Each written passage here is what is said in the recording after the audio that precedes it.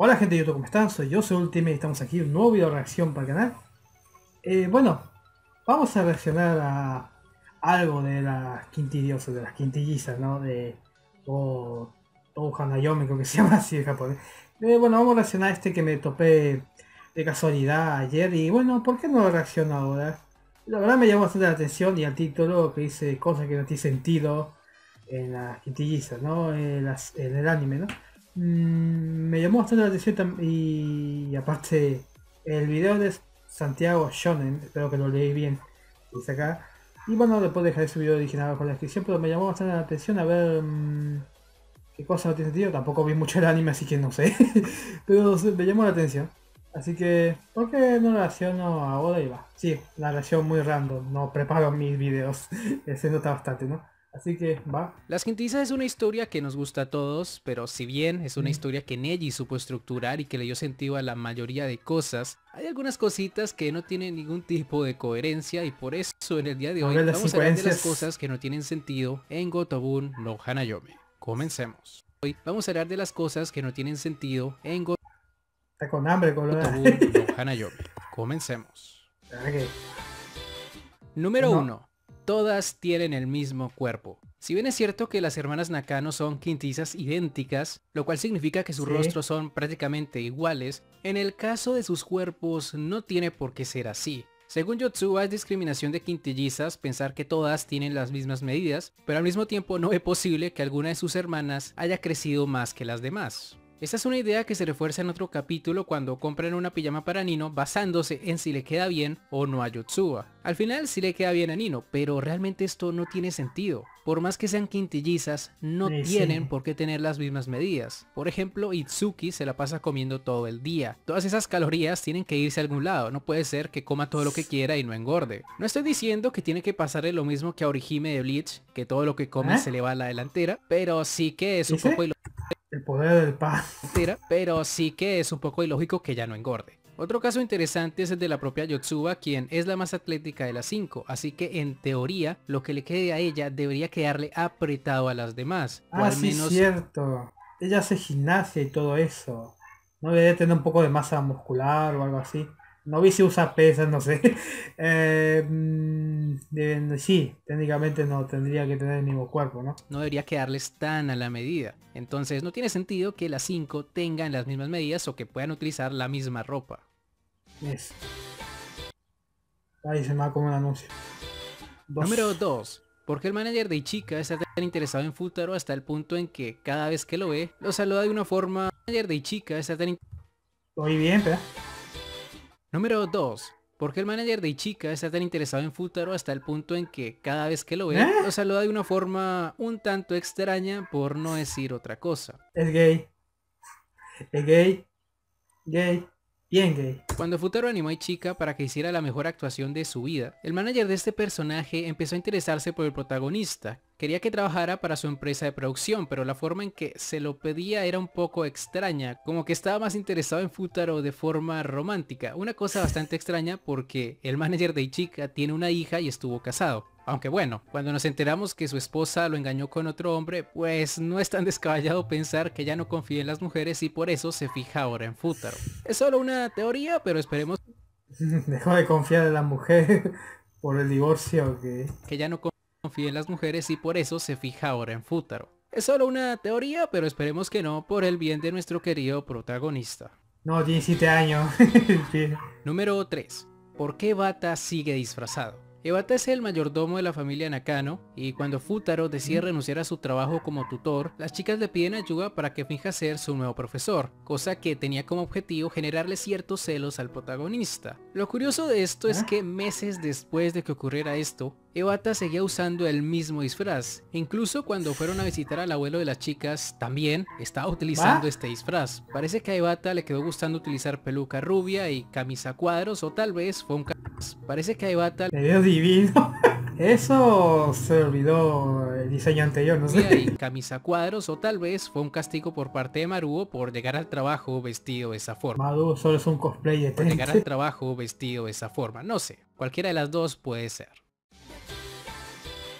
Número 4. Los ojos de Nino. Se dice que dos de cada Ah, quintillizas tienen problemas de vista. Bueno, en realidad me inventé la estadística, pero ustedes saben que hoy en día todo se puede probar con estadísticas. El 40% de las personas lo saben. En el caso de las quintillizas, sí funciona lo que les digo, y las que tienen estos problemas son Itsuki y Nino. Por el lado de Uf. Itsuki tiene mucha lógica porque ella sufre de miopía y la vemos durante toda la serie utilizar gafas de vez en cuando. Pero cuando hablamos de Nino no tiene lógica. En su caso ella tiene los ojos en la mierda, loco. Puede tener a alguien enfrente El primer capítulo eso, y después no se menciona más eso eh, del problema de miopía ella, severo pero que no tiene. logra distinguir si es un hombre, una mujer, un buen final para Kanokari, etcétera, etcétera. Es terrible su vista. Es por eso que siempre utiliza lentes de contacto, pero lo curioso es que estos lentes de contacto solo son mencionados en un capítulo, y lo más curioso es que cuando se mencionan, parece que su mala vista solo funciona con la gente. Ella le pide a Futaro, creyendo que es Miku, que busque sus lentes de contacto. Sí, se Si reparece. ella no logra distinguir al protagonista, ella sí logra distinguir muy bien los objetos. Es más, hasta se acerca al protagonista y le ayuda a buscarlos de forma totalmente normal, como si viera perfectamente. No se tropezó con nada, ni se chocó con nadie, ni nada de eso. Es como si sus ojos solo no funcionaran con la gente. Una cosa ¡A la bastante puta! rara.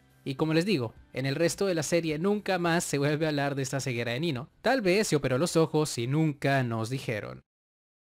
No me sorprendería que le arrancara los ojos a alguien, no sé.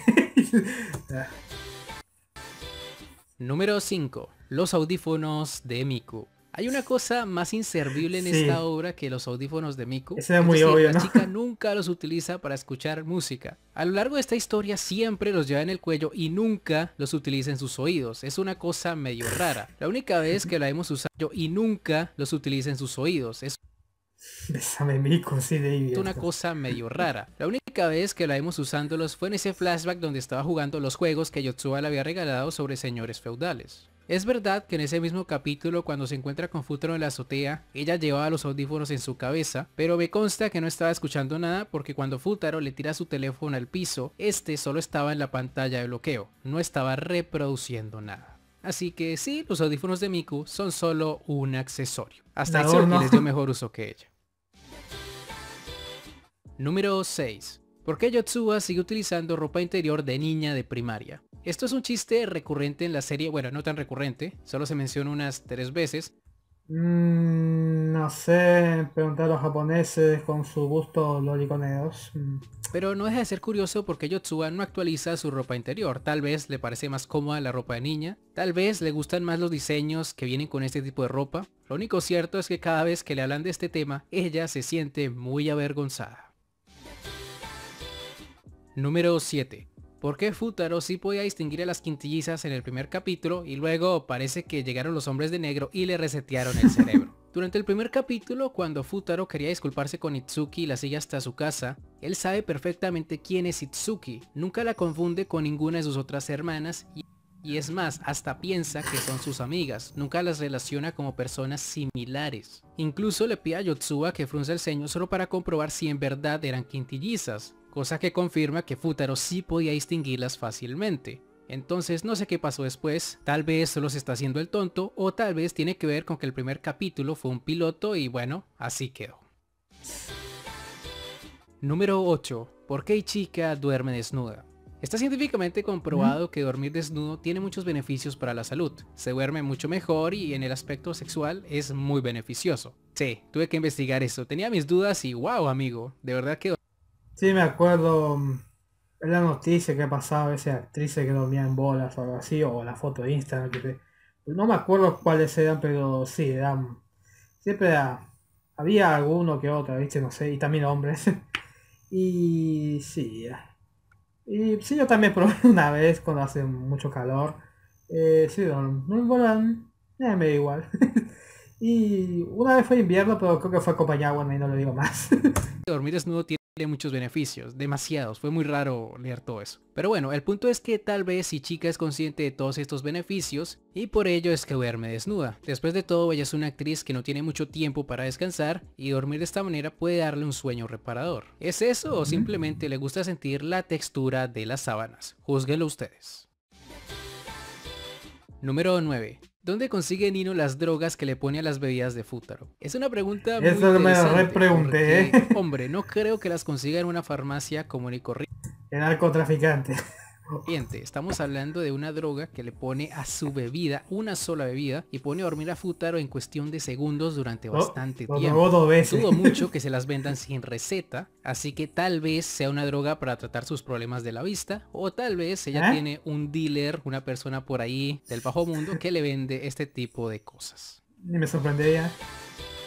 Número 10. ¿Por qué Nino se enamoró de la versión de Futaro de 12 años? Miren, además de drogar al protagonista, parece que...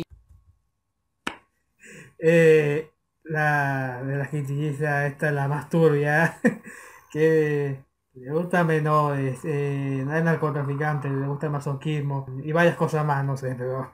Ay, no, muy normal la chica no es. También es loliconera. No tiene sentido que ella se enamore de un chico de 12 años. Es decir, son 5 años de diferencia, es demasiado. Hasta el protagonista que se lo presente está desesperada por verlo. amigo, esto es eh, un poco raro, un poco turbio, pero bueno, es Nino. Con ella siempre se puede esperar cualquier cosa medio ilegal, ¿no? Y mm. ya está gente, con eso llegamos al final de este video. Si les ha gustado, no olviden dejar un buen like, suscribirse, seguirme en mi red. Ah, fue entretenido, fue interesante. Ahora sí me reí un poco. Ok. Vamos a seleccionar más videos. Bueno, vamos a seguir con otro video más. Que Galaxia 78, creo que el año pasado, o no en 2020, no me acuerdo bien. Bueno, hizo una pared animada de la gente hizo también. Así que vamos a ver esta Ya lo había visto en su tiempo y es lo que conocí el anime. Eh, lo vi eso por curiosidad así nomás. Y bueno, obviamente de la serie y todo eso, ¿no? Así que vamos a ver el inicio y el fin. Nada, qué padre. Sé que es difícil de creer, pero soy tutor de unas compañeras. Y son quintillizas.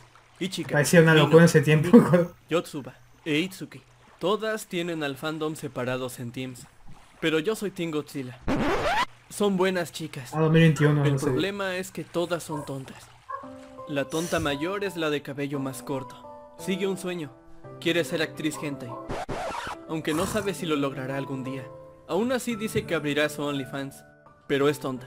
La segunda tonta es la que tiene dos cintas en la cabeza. Es un dere, algo bipolar, y tiene problemas de carácter. Eso me asusta. ¡Tengo miedo! Aunque a veces es buena gente, pero es tonta. La tercera tonta siempre tiene sus audífonos en el cuello, y casi siempre lleva medias negras, lo cual es sexy. Mmm, patas bueno, digo...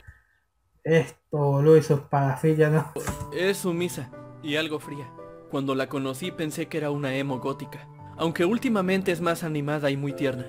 Pero es tonta. La cuarta tonta es la más tonta. ¿Qué digo tonta? Es bien babo. Lleva en la cabeza una cinta en forma de orejas de conejo. Y siempre es muy alegre. Puedes contar con ella aunque cause problemas. Y al final del manga... Uh, no les voy a hacer spoiler pero es tonta. La tonta y usa dos estrellas en el cabello. Quiere ser maestra y siento lástima por los que serán sus alumnos. Aunque puede que lo logre, pero es tonta. ¿Eso piensas de ellas? Tienes cinco hermanas bien deliciosas a tu disposición y las llamas tontas. Estás pero bien pendejo.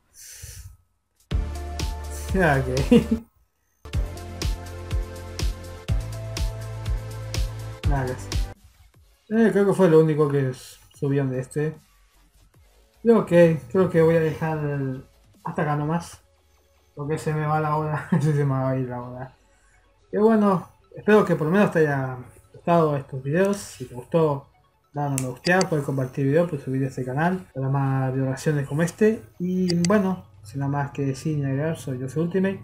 Nos vemos, bye chao, adiós, bye bye bye.